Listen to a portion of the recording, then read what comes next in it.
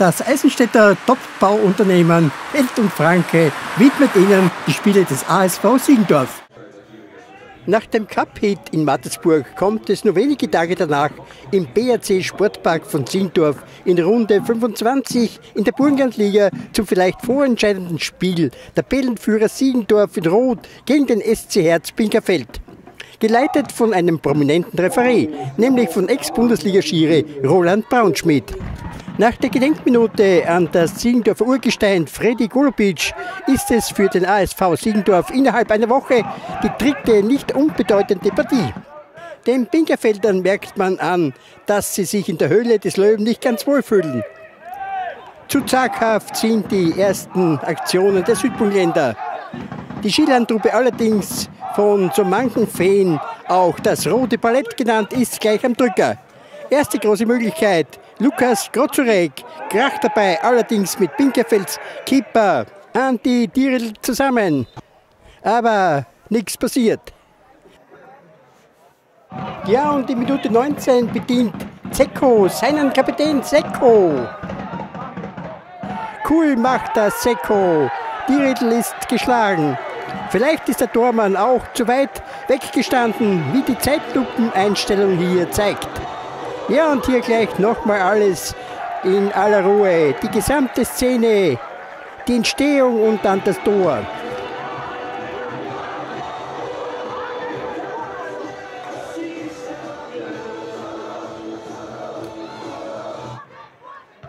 Das 1 zu 0 in Minute 19 gibt den Reds natürlich Sicherheit und Auftrieb.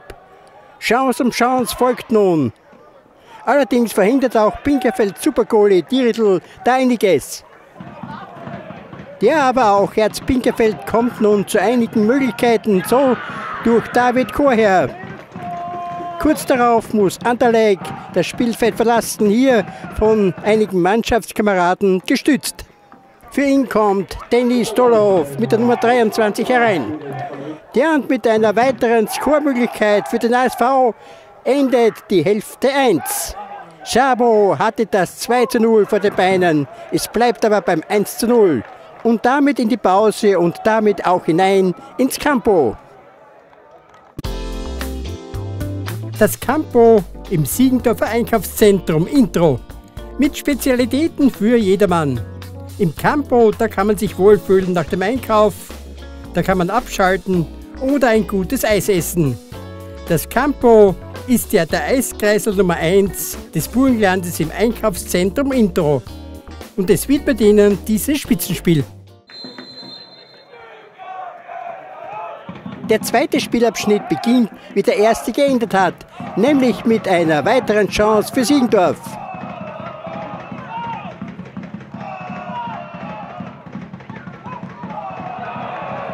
Doch man merkt den Siegendorfern die Strapazen der letzten Woche an. Siegendorfs plötzliche Schwäche macht Pinkerfeld stärker. Dadurch wird die Partie allerdings phasenweise auch noch recht spannend. Freistoß für die Blauen.